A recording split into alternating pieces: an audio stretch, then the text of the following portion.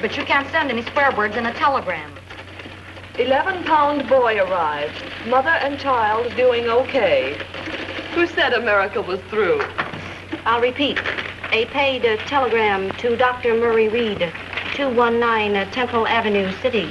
Congratulations, uh, stop. Plans afoot for small party in your honor. Manville Penthouse next Saturday, 10 p.m. uh, Stop. Maintain secrecy. uh, Stop. Promise you most original party ever slated. Signed, uh, your host. Yes, sir. I'll send that to the eight addresses you gave me. Please deposit $3.36 in the coin box. Thank you. Gee, that guy's got a spooky voice. Maybe he's an undertaker. No, he's throwing a party.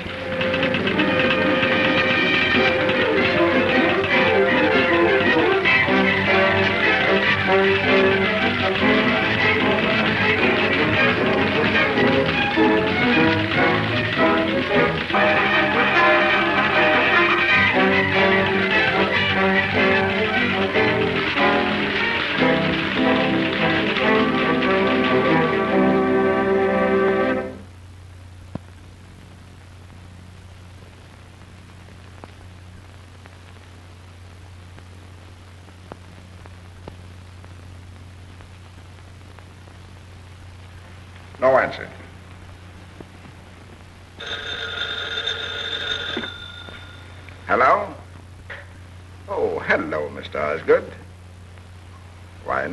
course I'm not too busy.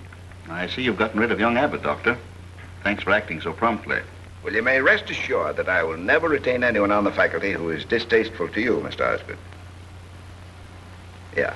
Well, he claims it wasn't radicalism. He says it was just constructive patriotism to, to train the next generation to take care of, of crooks like you, Mr. Osgood, who, who cheat the investing public. Eh? Yes. By the way, the, uh, the papers tonight will carry the story of your latest gift to us. Oh, that wasn't necessary, Doctor. You know how I dislike publicity. Perhaps my example will encourage others. It's all right, Doctor. Keep up the good work. Get the afternoon papers. Clip all references to my gift to Rayburn University. Yes, sir. Uh, there's a Mr. Henry Abbott waiting to see you.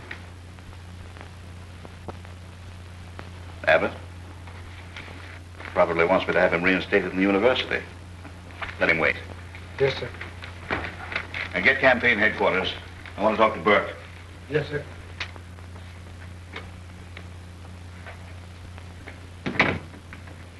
Mr. Abbott, Yes, uh, Mr. Osgood says for you to wait. thank you. Oh, uh, good afternoon, Mr. Burke. Hello, Bert. What's up?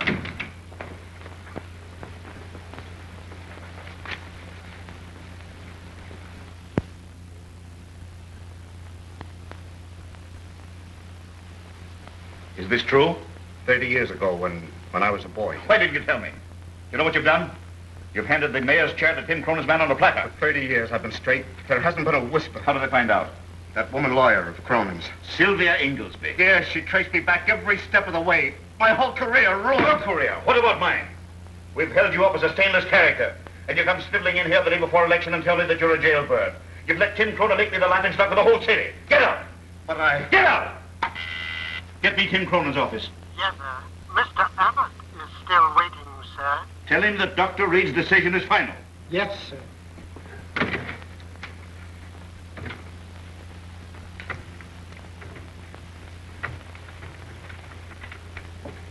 Mr. Abbott, Yes. Mr. Osgood says to tell you that Dr. Reed's decision was final. Ask him if he needs a new candidate for mayor.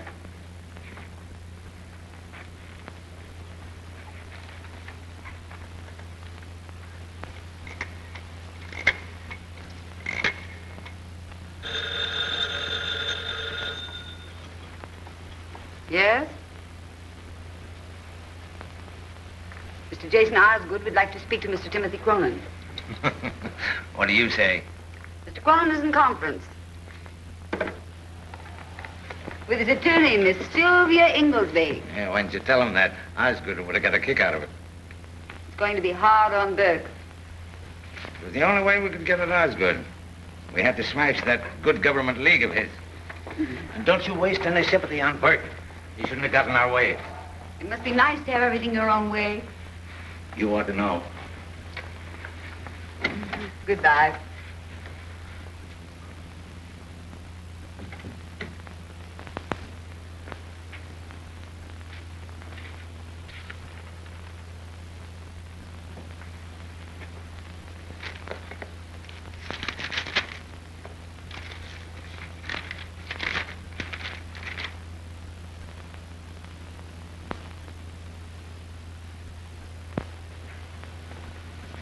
Lumps, June.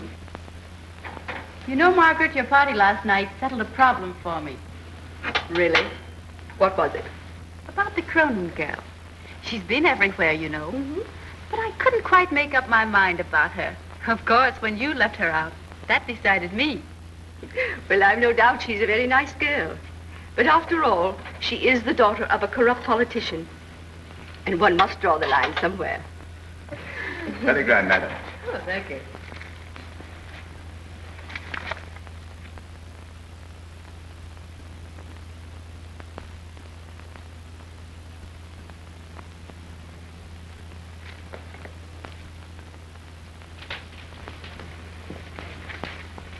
Another telegram, Miss Jean.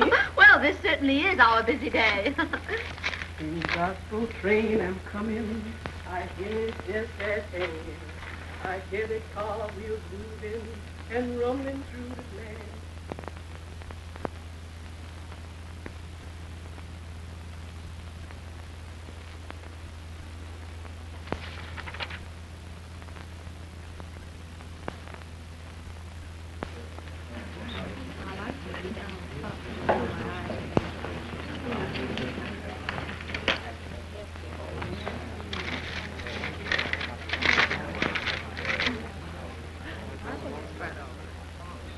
Congratulations. Good news, Mr. Abbott? Hmm? Oh, no. Uh, invitation to a party.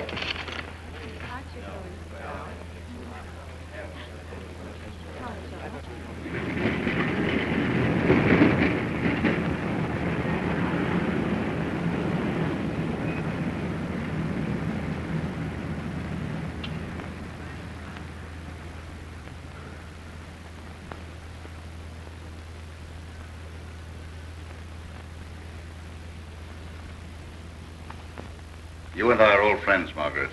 Own up now. It was you who sent that telegram. Until I entered this room five minutes ago and found you here, I hadn't the slightest idea whom I was to meet or who was giving the party. But seeing you here, I had my suspicions. And I'm hardly in the mood for any celebration, especially after what happened at the polls yesterday. The whole town's laughing at me. I've never been so humiliated in my life. When I think of what Tim Cronin did to me, I... All right, Jason. It wasn't you. So we'll go back to Dr. Reed. Well, I know nothing whatever about it. At least, nothing more than is contained in this telegram. Well, I think it's all a silly joke. Well, it was clever enough to bring us here. It was clever at that. Seems to me, Margaret, that somebody's trying to challenge your position as giving the city's most humorous parties. Well, tonight I'm quite content to be a guest. And when our host appears, I'm going to ask him to show me his house. The little I've seen is marvelous. But I don't like it. I don't like it a bit.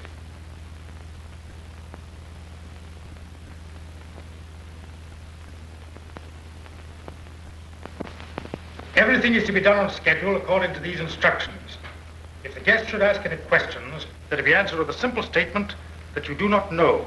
Under no circumstances... How is we going to get paid for this job? Well, the agency that sent us here will be responsible. They told me so. Isn't that good enough for you? Yes, it'll have to be. But just the same, I don't like it. The place is too perfect. Nothing has ever been used. You mark my words. Something is going to happen. Well, you've heard the instructions. Everything is to be timed to the second.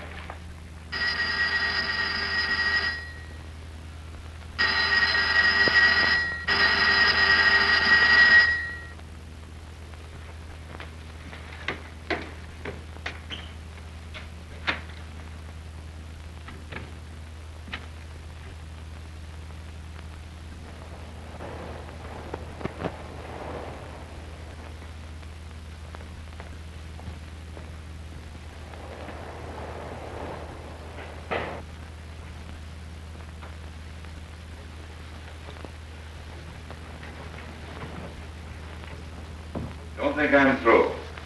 Just now, Tim Cronin's in control. But Cronin's a crook, and crooks are always greedy. He'll make mistakes, and then I'll have him. Cronin's a dangerous man, Mr. Osgood. I've heard some terrible stories about him. Anything you've heard about Cronin, you can multiply by two. The man's utterly unscrupulous. What name shall I say? Well, well, somebody's got a sense of humor.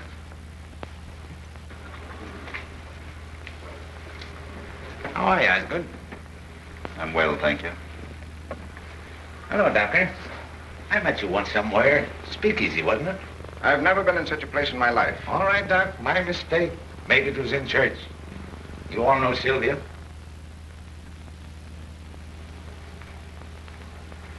This, I believe, is Mrs. Chisholm. I've heard my daughter speak of you quite recently, in fact. She's a very charming girl. Yeah. I'll tell her you said so.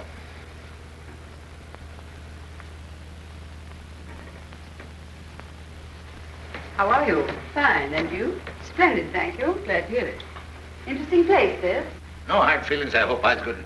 My man won and yours lost. I guess that's all there is to it. I don't think there's anything to be gained by discussing the matter. Okay. I sure love a good loser. Swell place, eh? Hadn't any idea it would look like this. Why not own up, Sylvia? You're the one who sent those telegrams. You're wrong, my dear. I got one myself. Shall I read it to you? That's hardly necessary. We all got them.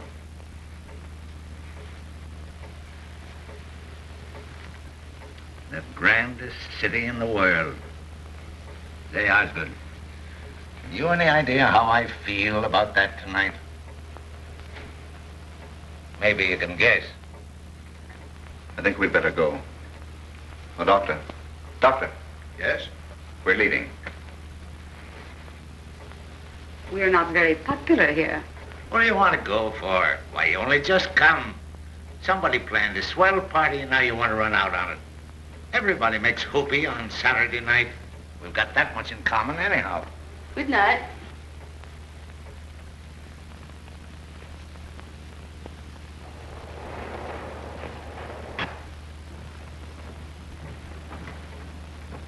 Hello, folks. Well, this is a surprise. Why don't they build elevators all the way up to penthouses? Good evening, Miss Chisholm. Mr. Osgood. How are you? Doctor. How do you do? Well, Sylvia. And Cronin. Hey, this is swell of you, Tim. I suppose it's your way of celebrating. Considerate of you to invite Osgood, and very nice of him to accept. I've changed my mind. I'm remaining. What about you, Margaret? As you wish. You're not thinking this is my party, are you? Well, yes, isn't it? That's the trouble with you authors. You got too much imagination.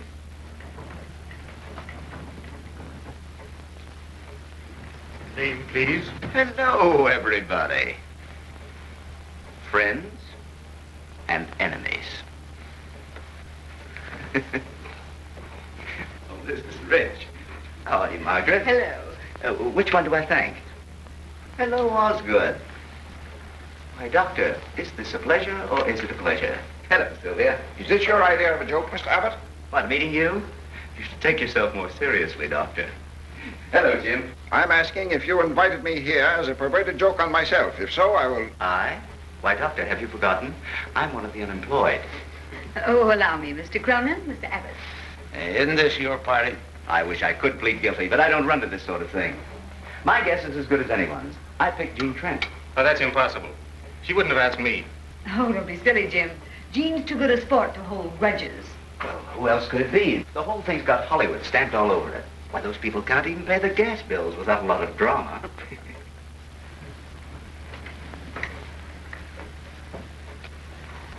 Miss Jean Trent.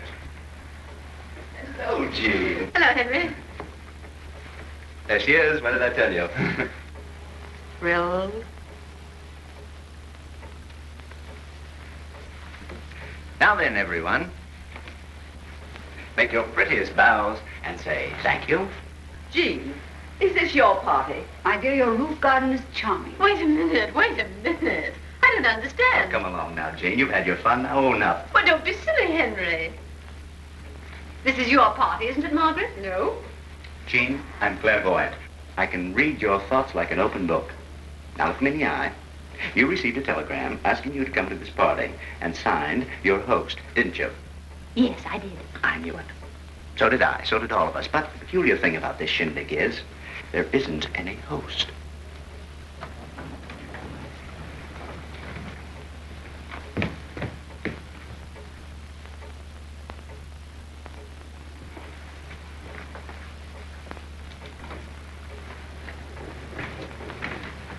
What name did you say, sir?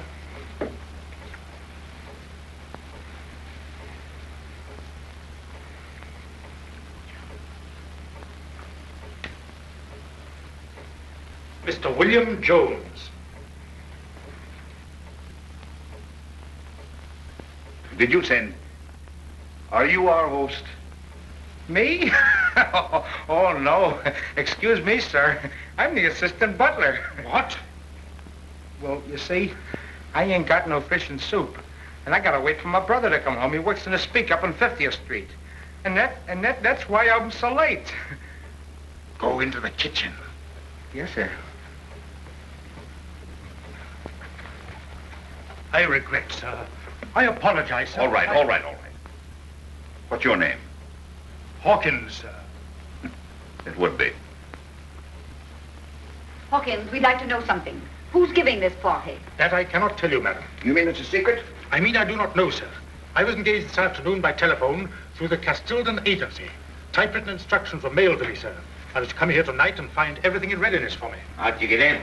The key also was mailed to me, sir. Your host has planned a very interesting evening, if I may say so, sir. Well, Hawkins, you seem to be as much in the dark as the rest of us. Maybe we'd understand it better if we had a little uh, glass of something. I'll bring the cocktails immediately, sir. If you will pardon me.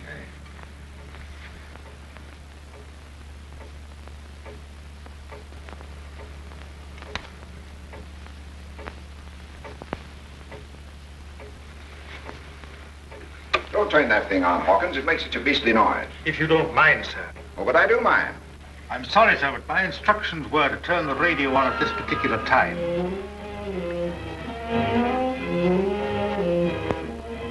Patience is such a sweet virtue. What Don't you think, Doctor? Jean, shall I go or stay? It doesn't make the slightest bit of difference to me. I don't want to spoil your evening.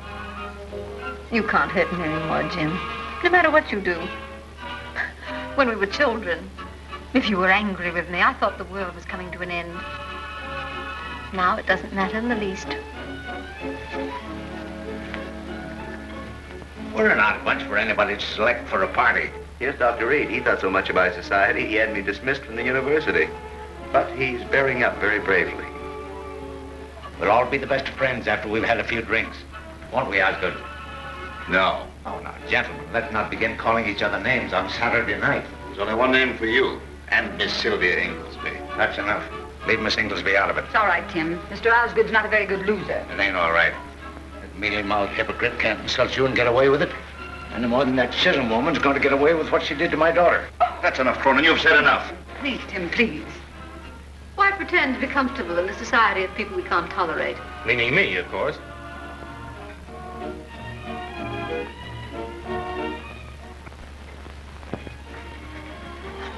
Please.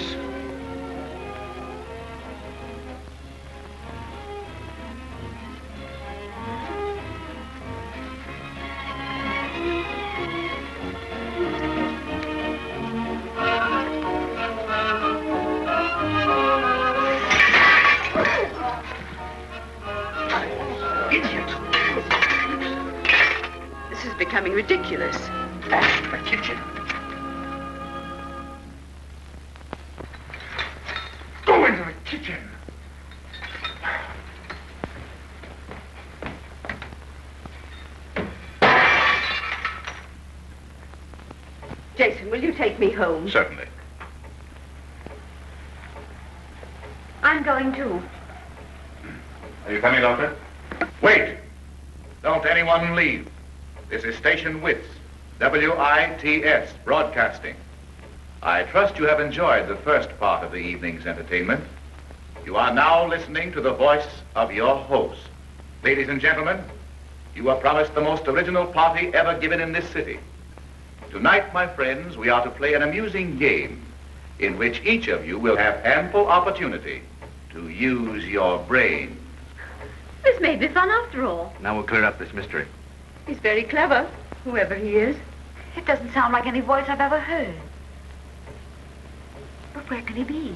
Probably sitting in another room with one of those trick microphones hooked up to this thing. I warn you, however, the stakes will be high, for tonight you are commanded to play an absorbing game. A game of death.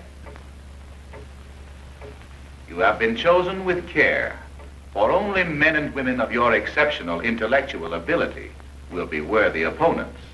Until dawn, we will play a game of wits, yours against mine. Do you think you can frighten us with this kind of nonsense? Jason, I am frightened. Someone's having a joke. I warn you, it is not a joke. This is the voice of one you know well. One who has planned revenge because of deadly wrong. Give attention to the rules and try to win.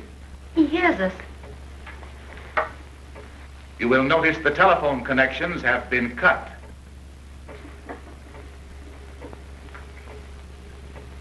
This is ridiculous. To touch the radio means death. It's charged with enough electricity to kill you instantly. Well, I'm getting out of here. Come on, Tim. There is no escape. The gates by which you entered the garden are also charged with electricity. I want to get out of here. Margaret, don't let this thing get the best of you. Some ghastly brand of foolishness. But Jason, I... A minute. This may be only a joke, but I've had the feeling for the last few moments that someone in this room, one of us, may be behind it. You're crazy. There are people here I wouldn't be found dead with. But I don't think they're capable of this. Thanks. Every one of you has some secret which you hide from the world. Through these weaknesses, I will attack you. If one of my guests lacks the courage to play the game with me, I have provided a simple means of escape. If you will look on the shelf above the fireplace, you will find a small bottle.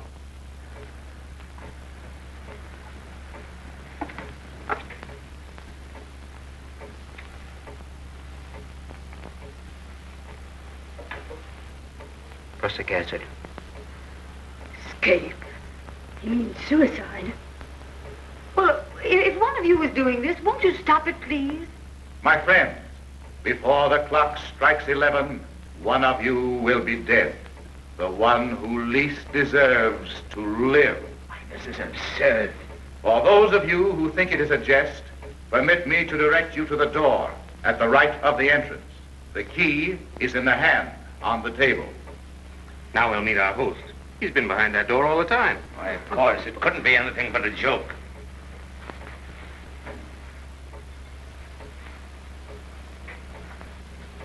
Come on, give him a reception.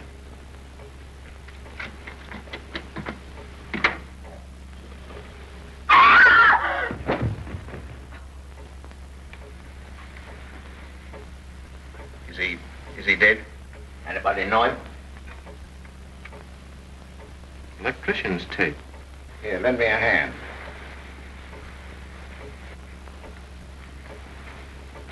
Jean. Jean, come back here. Come back here. Jean, don't come let back. him- Don't be killed.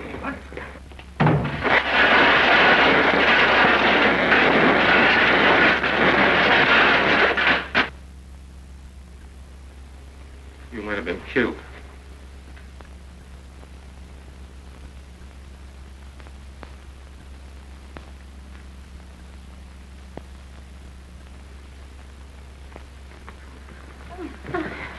There, there, dear.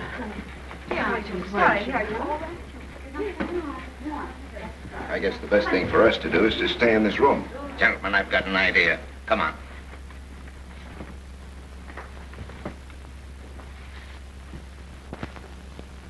That butler must know something.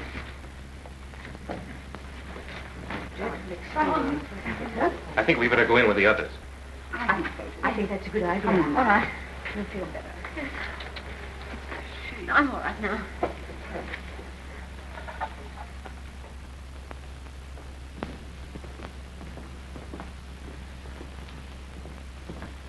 Yeah? Then what?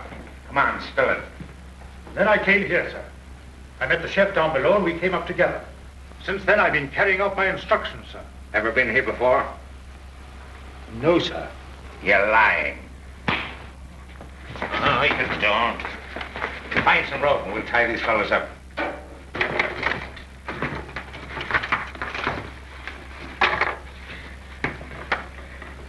You're out of circulation for a while.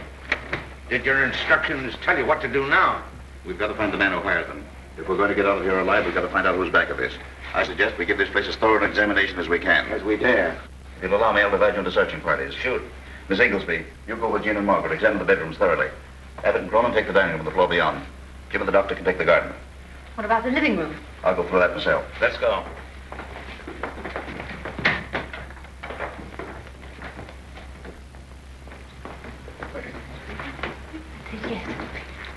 You like me to go with you, Jean?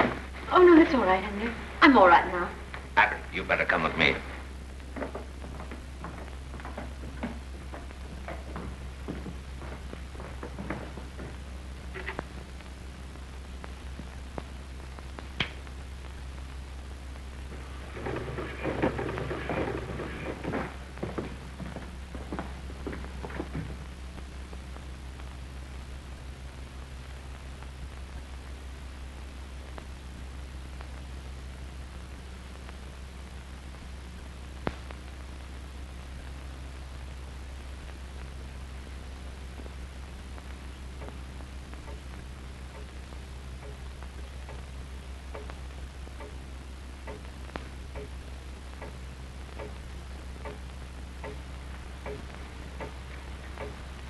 Can you hear me?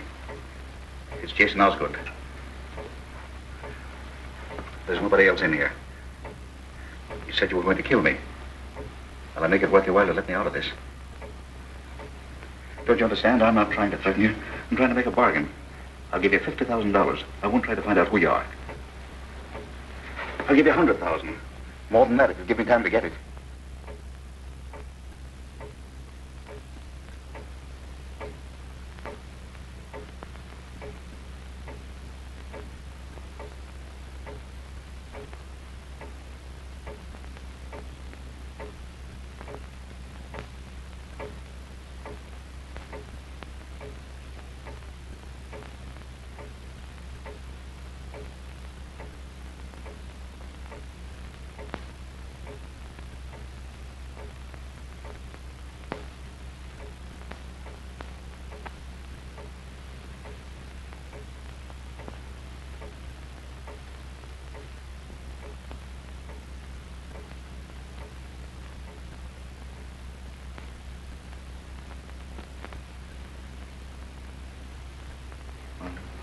two, three, four, five.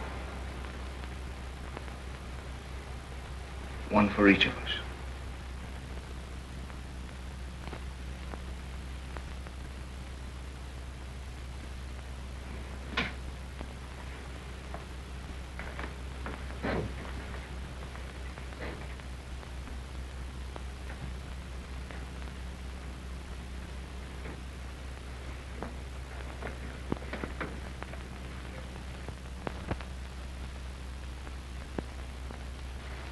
Come on, let's get back.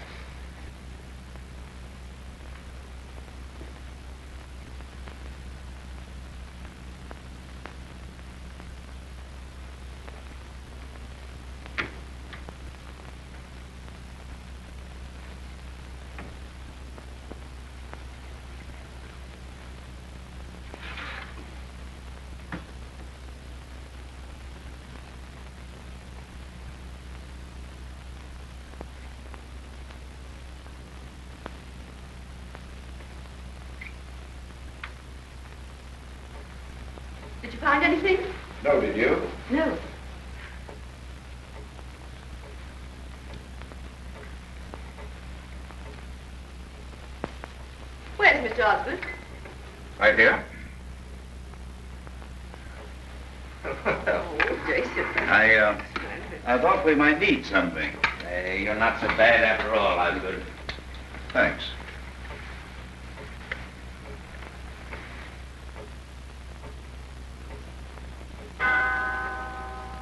Look, it's 11. We're still all here, and nothing's happened. Then he's failed. Your good health, everyone. Stop. Don't drink. You are about to meet my guest of honor, the ninth guest. The ninth guest? His name is Death. It pleases me greatly, my friends, to tell you Mr. Jason Osgood will be dead in a few seconds.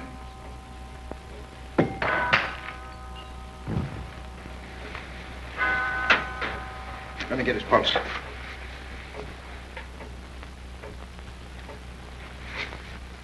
You did this. You're crazy. You wanted him out of the way so you and your crowd could do as you pleased. Now he's gone. You killed him. Why, you fool. Don't do that. You hated him. We all know that. Sure, I hated him. But not enough to kill him. You don't have to stand this kind of talk to him. Please, please, we've got to keep our heads. My friends, none of you is guilty of the death of this man. He was the agent of his own death. The drinks he offered you were poisoned. When he opened the bottle of prussic acid, he cut himself on the poisoned cap. Stop it!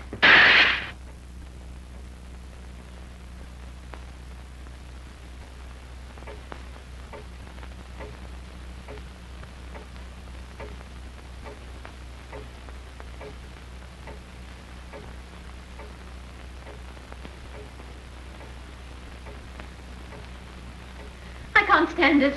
I can't stand it any longer. Oh, please, dear, control yourself. You must. For all of us.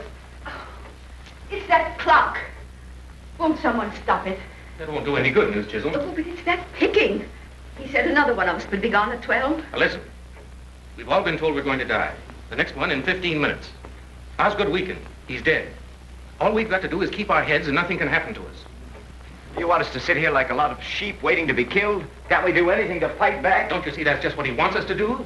Suppose we should fight back. What would we be fighting? Shadows. There must be some hiding place. He's here somewhere. Search the apartment. This is not a game of slaughter. It is a game of skill. We're trapped by a maniac. You boasted you had the whole police force in your hands. Can't you do something? What can I do? With the wires cut, how can I reach him? Tim. My friends, this is a game in which you take one side and I the other, with death as the referee. If I lose, I will appear and die before you all. That butler hasn't heard a word of this. I'm going to take him to the gate and tell him to get out. If he hesitates, we'll know he's in on this. Come on. If he's killed, that's murder. Murder. We're fighting for our lives.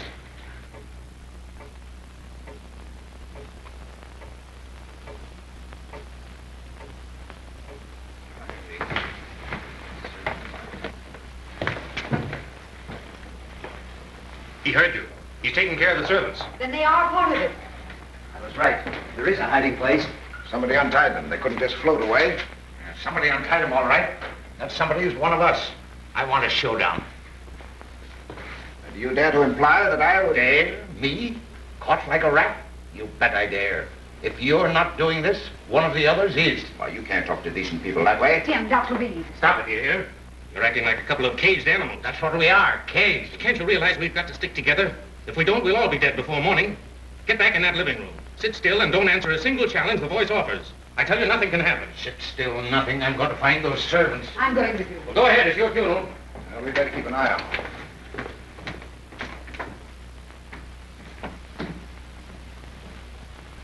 Come, Margaret. Wait. I don't want you to go. What right have you to tell me what to do? Oh, Jean, please. And please stop pretending. Pretending. Yes. Your sudden anxiety for me is a little absurd. You won't listen? No.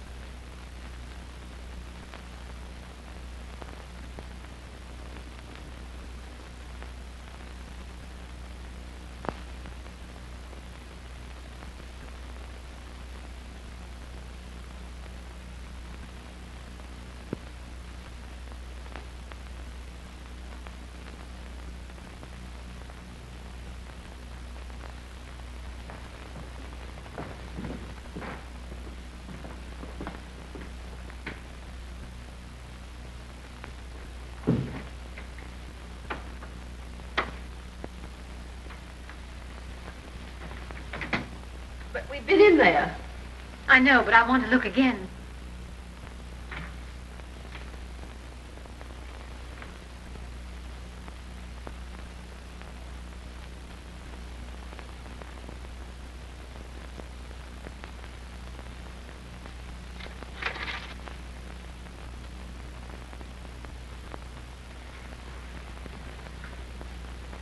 Did you find anything? Did you find anything? No. Come along then. The others will be wondering where we are.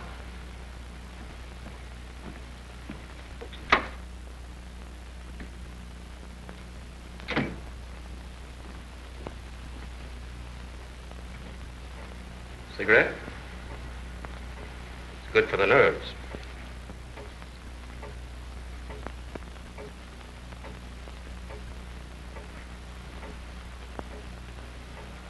No, thanks.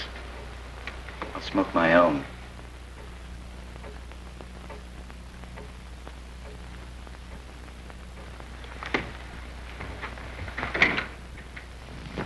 What's going on here? Well, I tried to attract attention by burning some newspapers on the parapet, but I don't suppose anybody could see the blaze. Fifty stories up, you might as well wave a lighted match. Well, the setbacks begin ten stories down. I couldn't throw a message beyond them. I tried. You might have set the place on fire. It's like a cheap movie. Now, perhaps you'll listen to me. We've got to fight this thing with common sense. If we all stay inside and keep quiet, we'll be safe. Now, come on. If I thought that you... Oh, please, gentlemen, let's go inside. Find anything, Chisholm? No. Well, are you going to tell them or must I? I don't know what you mean. Oh, yes, you do. We were searching the front bedroom. You didn't know I saw you, but I did. Jean, please. Well, there's a table by the bed. There was nothing on it when we went there first. But when we went back, there was an envelope there. I saw Margaret pick it up and read it. And then she hid it in her dress. Margaret. Margaret, what was it? Let's see that letter. It isn't true. Jean, you're sure? Well, yes, of course. Sylvia, you and Jean take her to another room and search her. You wouldn't dare. Will you let us have that letter?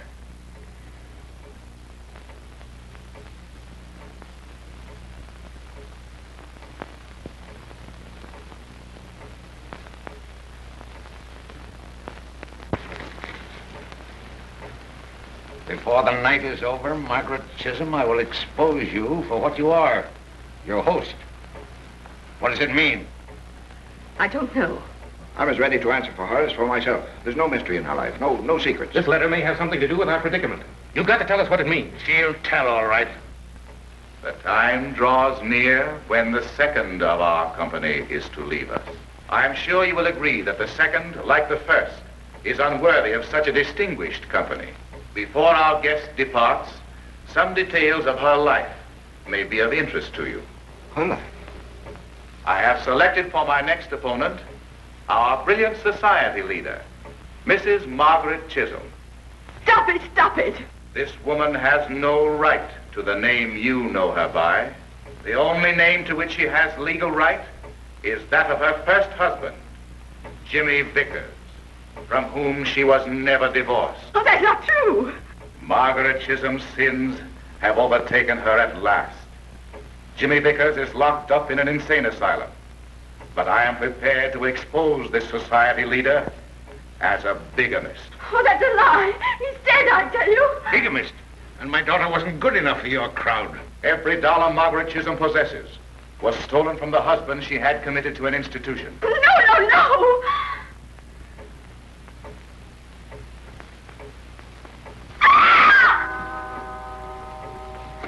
Fifteen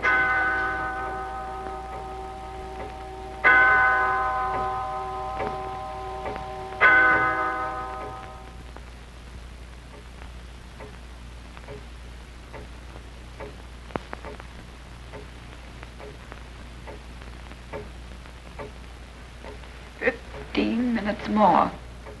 Stop it, please. Fifteen minutes more. Can't somebody stop her? I can't. None of you will listen to me. You told us to sit still.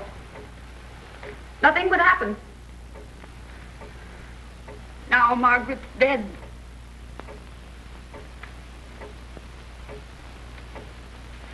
Put that down!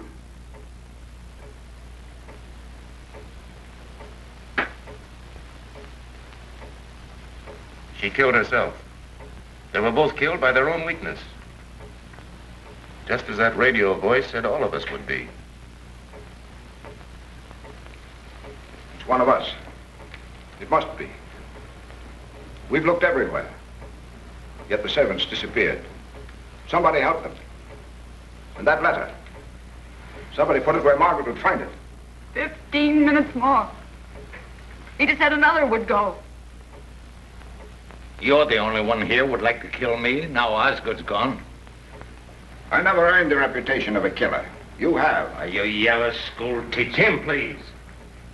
We're playing right into their hands, just as we did both times before. You said it was one of us. How do we know it isn't you, Doctor?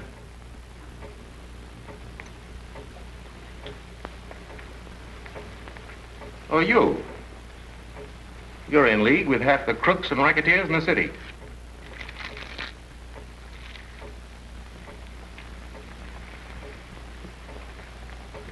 There are six of us left. And everyone has something against somebody here. I never harmed anyone. You kicked me out of the university without a chance to defend myself. Please. I had to put you out because I, well, I, I didn't like your opinions nor your, your sneering, arrogant vanity. How do we know it isn't Abbott? You have reason to hate Dr. Reed.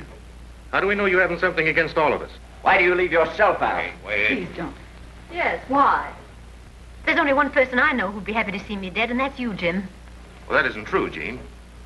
I think you're a little snob, eaten up with self-importance, but I wouldn't kill you. Oh, yes, you would. I'll tell you all something you don't know about us. Jim and I were brought up together. Our fathers were friends. We were in love.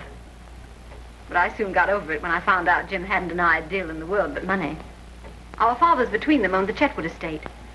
They left it to us with a proviso that it couldn't be sold unless we both agreed, because they thought we'd be married and live there. When Jim found out there was oil on the land, he wanted to sell it. But I refused. That's when he turned against me in his newspaper column and tried to ruin my career. That's why I think you'd like to see me dead. You'd be a millionaire if you could sell Chetwood.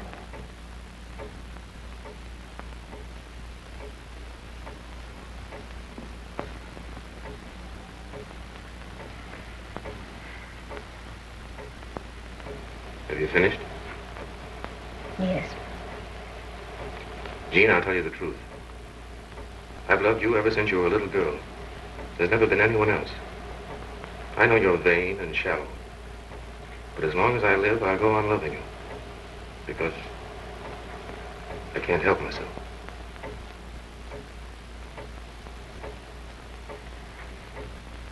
Now you've heard all about us, and Abbott, and the doctor. About you, Cronin? And Sylvia? Well, what about us? You both have reasons to want to see each other dead. Sylvia's the best friend I've got. Her husband filed suit for divorce yesterday, and she made him withdraw it. How'd you know that? How does a newspaper man know anything? That's plenty of reason for you wanting to get rid of her. Everyone knows you're insanely jealous of her. And she has a much better reason for wanting to see you dead. You left her $250,000 in your will. Ask me how I know that. It's true, isn't it? Yes, it's true. Don't let him frighten you, Tim. But Sylvia wouldn't kill me for that. There are men within a dozen blocks of here who would kill you for much less. Now you've heard the whole works. What's your verdict? Which one of us wants to kill the other five?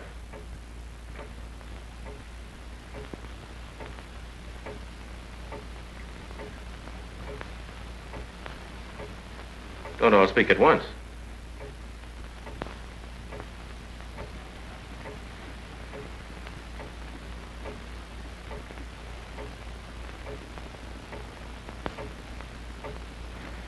Why don't you search us? Margaret Chisholm had something hidden. We'd never have known it if Jean hadn't told. Maybe some of the others have something in his clothes that'll give the show away. Nobody's going to put a hand on me. Why should you object if you've nothing to hide?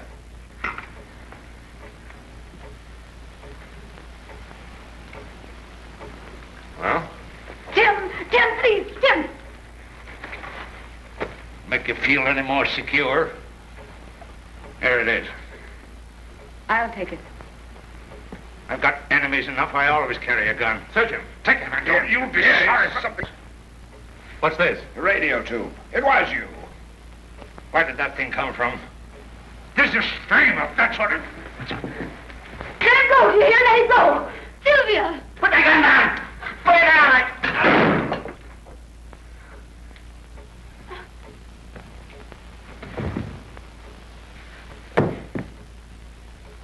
Tim. Tim! I killed him. Tim! Oh, Tim, Tim! I didn't mean to do it, Tim, Tim!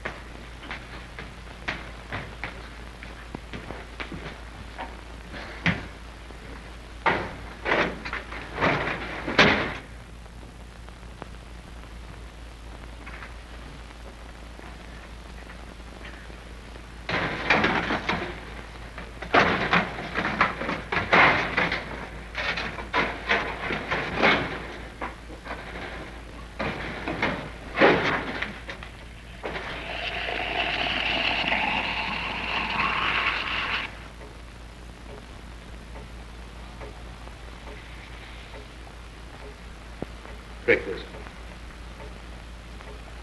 Jean.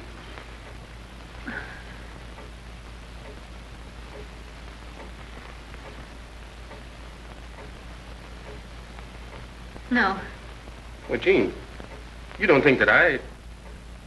I don't know what to think anymore.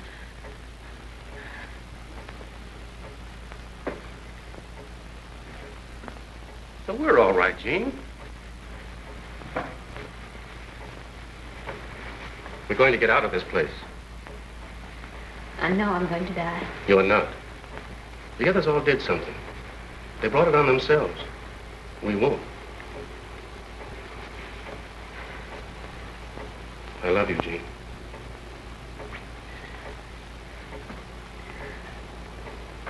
You told them all about me. Oh, you shouldn't have done that. You made me feel so cheap and mean. You're not. Yes, I am.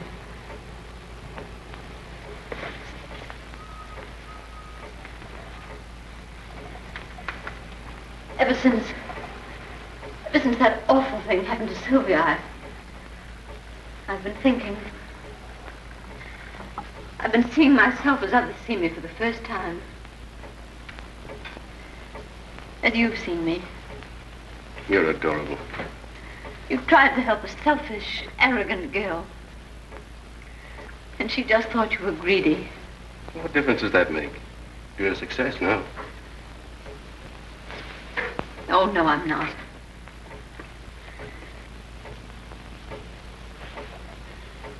I'm just lucky, that's all. I got the breaks that other girls didn't get. But I... I haven't really lived yet. I don't want to die. We'll find some way out of this. There must be some way.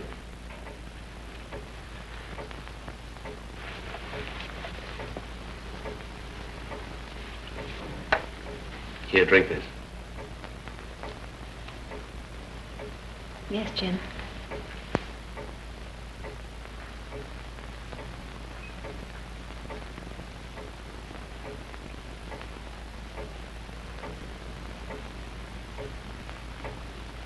Why are you looking at me so queerly? What have you done to me?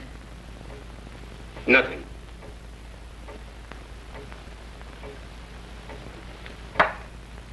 Now you satisfied?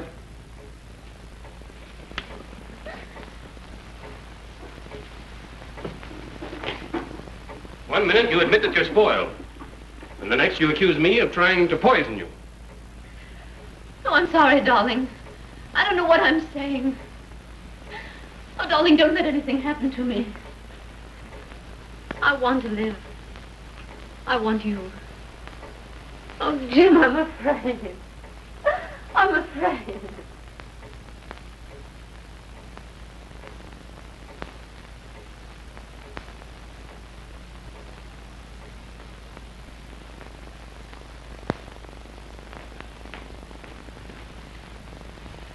Come, pull yourself together, Abbott. I'm all right. Stop trying to take care of me. Let's go inside. I, I don't feel safe out here. Safe? You feel safe in there where three of them died already? Oh, come along. Come on, let's go inside. I'm all right. Leave me alone. Take your hands Come off on, me. come on. Come away from there. Will you leave me alone?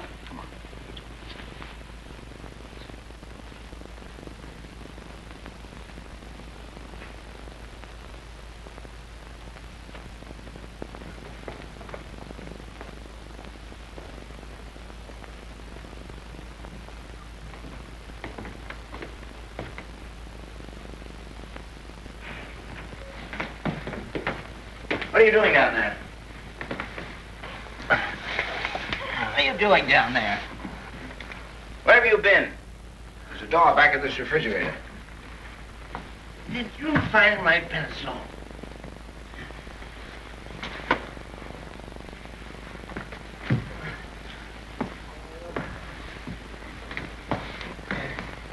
I've got it here. Let me a hand.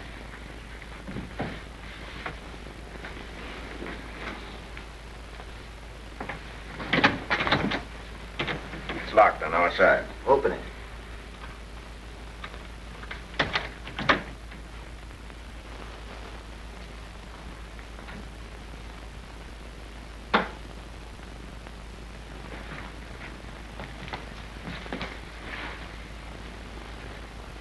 They're drugged.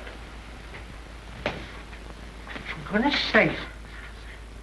Oh, my pencil. I found my pencil. What do you know about this? Please. What architecture? Oh boy. Eeny, meeny, m- miny, mo. I think that was. Oh, he's drunk. Yes, right, mister. He's drunk. Come on, let's get out of here. That's a good idea. Let's get out of here.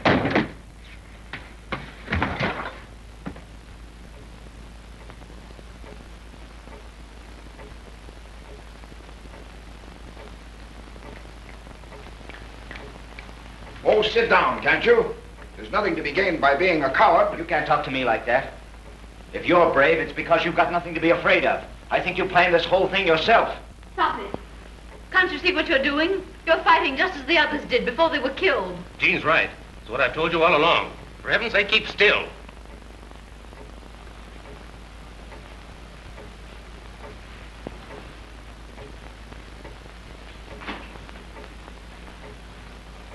Why did you turn those lights out? Because I don't want to be any more conspicuous than I have to. Only four of my guests are left. Dr. Reed, the well-known educator, Jean Trent of the Honeyed Voice and the Golden Charm, Jim Daly, brilliant journalist, and Henry Abbott. Just four opponents. Are we cowards? Let's do something.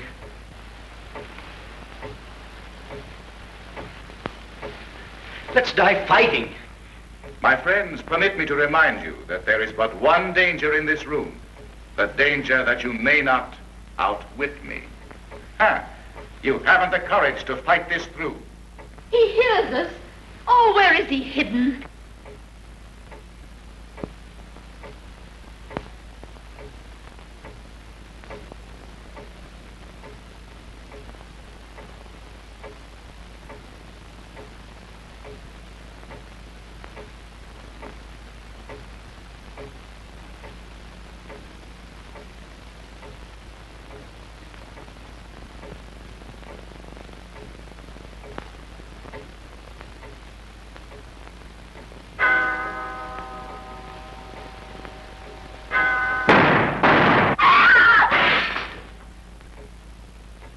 Turn on those lights! Turn on those lights!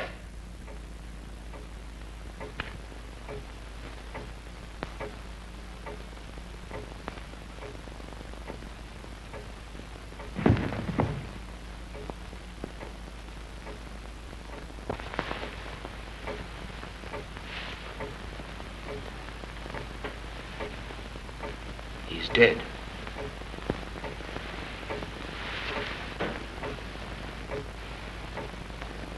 Someone's out on the roof. He fired through this window.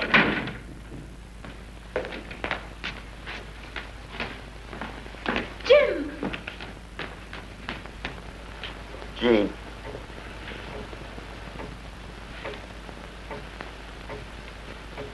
Henry. What's happened? Someone's a bad shot. Oh, Henry. Are you hurt badly? Oh, no, I don't think so. Jean. I've got to tell you. We may never get out of here alive, any of us. I love you, Jean. Oh, Henry. Please don't. Not now. I may never have another chance, dear. I want you to know I love you more than anything else in the world. I have for ever so long. I wouldn't have dared tell you except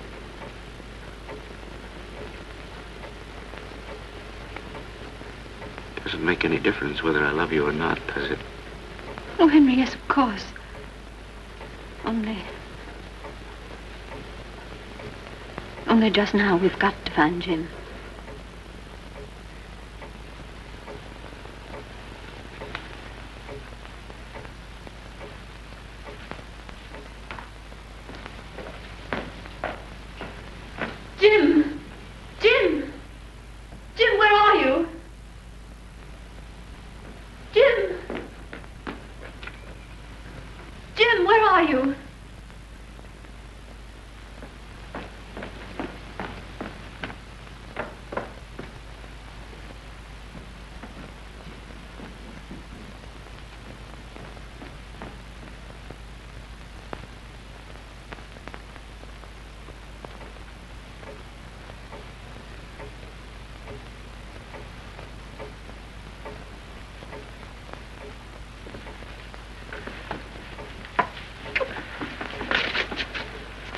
You doing?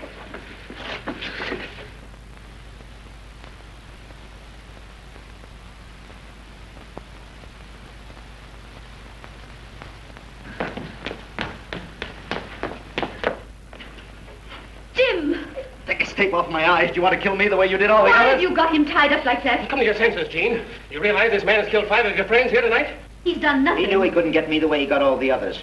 He wanted us to think that Dr. Reed was killed by someone outside in the garden, but he wasn't. He killed Dr. Reed with a gun from this room. Then he fired the second shot at me, but he almost missed me in the dark. That hole in the glass wasn't made by a bullet. It was made when he threw the gun through the window. If you look lower down, you'll find the hole where the second bullet went through.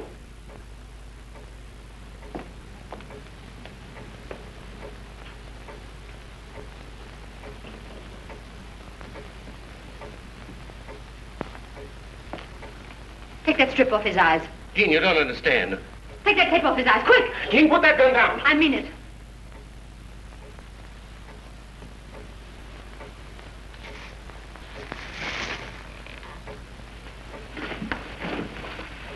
Now listen to me. I'm going to prove that Abbott and nobody else did this. He planned the whole ghastly party. For a long time, I couldn't see that any of our crowd could be guilty. And then suddenly it dawned on me. Abbott was the only one in the room that the voice answered directly. It never answered anybody else. Don't you believe him, Jean? Now I know who was in that closet. You introduced me to him months ago. He was a young electrical engineer. You brought him here to wire this place, and then you killed him. He's lying, Jean. Killed him in cold blood, just like you did the others. You killed him to keep your secret. Didn't you? Wait. Don't anyone leave. What is it? This is Station WITS, W-I-T-S, broadcasting. I trust you have enjoyed the first part of the evening's entertainment. You are now listening to the voice of your host. Now do you believe me? Abbott sat in his chair every chance he could get tonight. He was in it every time the radio voice started to speak. Listen to another.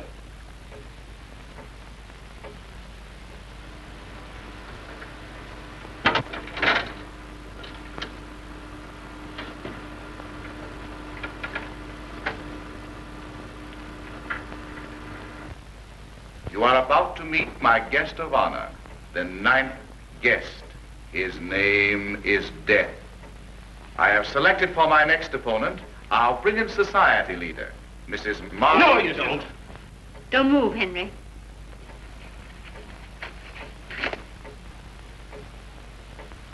A microphone. Now we know why the radio voice could follow our every move. When he couldn't count on those records, he had this. There are probably a dozen places in the house where he could plug it in. He killed Dr. Reed and then wounded himself in some way to fool us before he threw the gun through the window. All right. I promised I'd play fairly if you outwitted me. Well, I've lost.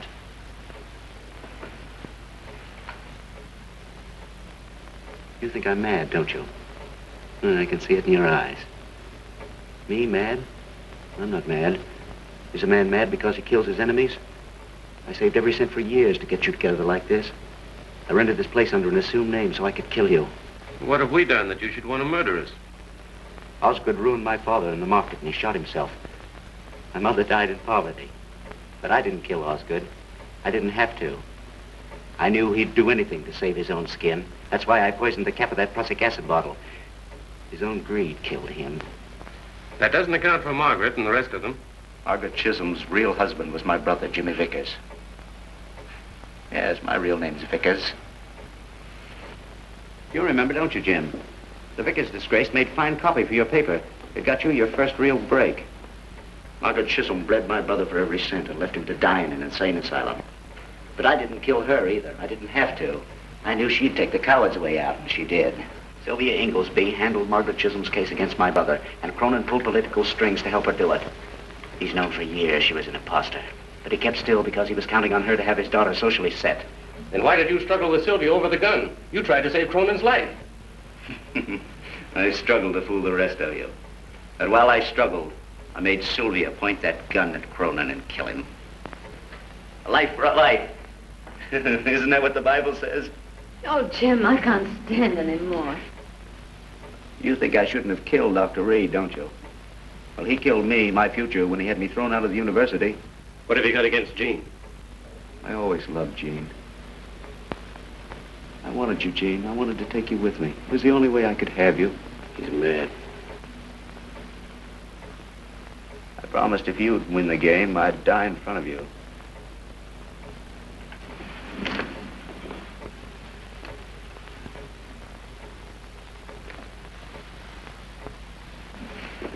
It's your last trick, Abbott. Now get us out of here or I'll kill you.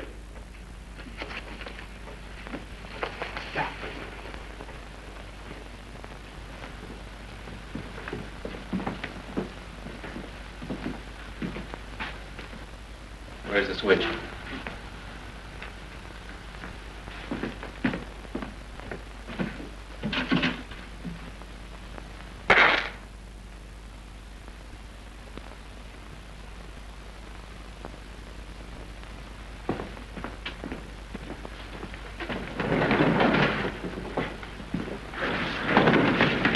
What are you doing? You needn't worry about me. Trials are such messy things.